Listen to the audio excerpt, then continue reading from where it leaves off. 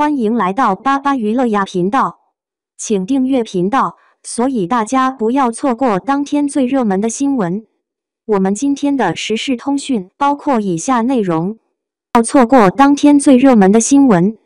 我们今天的时事通讯包括以下内容：出道一十一年，九年小透明，横店打工人成毅没有好好工作，古偶剧里被伤得身心俱疲。现偶剧里又集虐点于一身，本是冲着《南风知我意》中程毅的现代造型去看的，却在了解剧情后，开也不是，关也不是。程毅的原名叫傅诗琪，这可能是圈内为数不多的被认定为原名比艺名好听的名字。面对网友的争执，程毅回答的坦然：“里外都是我，看你们喜欢谁。”离开镜头。程毅总被关上老干部的定义很晚才开通支付宝，不精通网络用语。采访中时常二 G 联网，游戏中也是懵懵懂懂不知流行。平时的休闲就是喝喝茶、钓钓鱼，就连狗子也在跟拍了一天后感叹程毅真的好无聊。这样一个在生活中常常宕机的人，却将角色演绎的风生水起。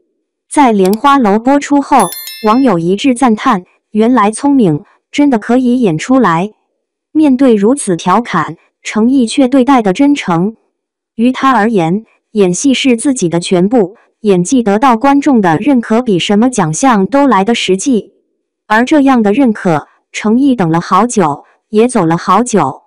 很多人都是从琉璃开始认识程毅，却很少有人知道。被众所周知的那一年，程毅已经整整三十岁了。彼时正是他出道的第九年。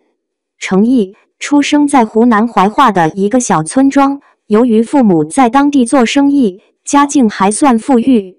小时候的程毅长得很好看，深受街坊邻居的喜爱。从小喜欢展现自我的程毅，经常在大人们忙碌一天后担任开心果的角色。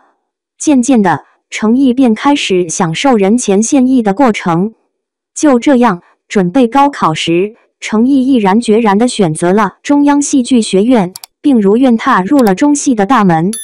二零一一年，程毅参演了人生中第一部影视剧《唐宫美人天下》，虽是个小小的配角，但也揭开了他拼搏演艺圈的序幕。一年后，程毅作为男主角出演恐怖电影《鬼爱》，一经播出。被很多观众定义为烂片，豆瓣评分也只有五点四。这样的成绩让程毅开始不自信起来。比起别人的顺风顺水，程毅自入圈以来就走得磕磕绊绊。刚入行的时候，很多导演和制片人都对他进行了否定，甚至扬言程毅这辈子都不可能成为演员。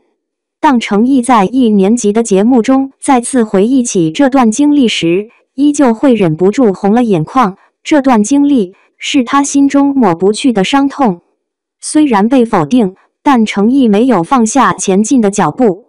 秉承着做演员的初心，程毅接拍了许许多多的影视剧，类型也是多的数不过来：青春剧、古装剧、喜剧。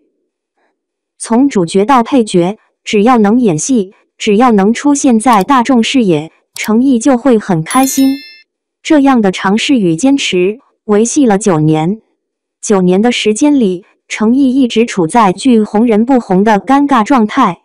若说有一次小爆，也是在一年级毕业季节目中，凭借帅气的外貌和认真负责的态度，积累了一些粉丝，以至于二零一六年青云志剧组扫楼时，在众家粉丝中几乎看不到程毅粉丝的身影。要知道。为了吸引粉丝前来，经纪公司将程毅的行程单具体到了哪个地方、哪栋楼。即使这样，达到的效果依旧是星星点点。意气风发的少年郎，就是在这样一次次的打击与失落中成长。成长往往伴随着艰辛和漫长。好在程毅坚持了下来，迎来了曙光。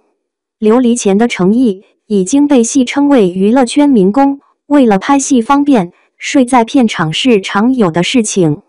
为了做好开拍前的准备，程毅会对自己设置三个月的闭关期。不看手机，不玩游戏，每天要做的事情就是健身、练舞、学习角色需要的各种技能。不急不躁的状态中，让原本有些中二与跳脱的性格逐渐沉稳了下来。也因为长时间闭关不看手机，而被吃瓜群众立上了老干部的标签。为此，程毅很苦恼，也解释了很多次，但看着粉丝们乐此不疲的玩梗，也就慢慢的接受了调侃。毕竟自己的粉丝当然要自己宠。程毅的爆红不是一蹴而就，在琉璃前已经有迹可循。第一次证明演技的提升。其实是在《怒海潜沙》和《秦岭神树》里，在里面，程毅即是高冷桀骜的张起灵，也是热血奔放的张不逊，一人分饰两角，看后又不会出戏，让观众第一次感受到了程毅十几年如一日的诚意。再后来，便有了《琉璃》，有了《沉香如屑》，有了《莲花楼》，一部比一部出彩，一部比一部让人印象深刻。他再也不是那个看着别人演戏还委屈巴巴地被导演嫌弃的小透明。如今的程毅已经能够独当一面，支撑起完整的一部剧。很多人说程毅是有些戏瘾在身上的，即使不拍戏，程毅也会在闲暇时间看上几部电影，分析里面角色的演绎。面对生活，程毅更是简单到不行。不是去和妈妈好好过一天，就是陪狗狗玩一玩。招待朋友也是一早出发去河边钓鱼聊天，说一说自己对角色的理解，想一想自己接下来要尝试的方向。有时候，程毅真的是一根筋，他将自己的身心都投入到了演戏里，于是才会断网，才会不知所云，才会一副老干部的姿态。这样一个傻愣愣的人。却傻得有些可爱。程毅能从一个无名小卒长成大男主，一定不是靠运气这么简单。如今，程毅挣扎出道了一十一年，一十一年的努力与辛酸，他未曾提及，又凭什么以运气二字顶替他的努力？只想说，这样的一十一年，看似沉寂，实则是叙事。待到能量爆棚，运气不过是一次助力。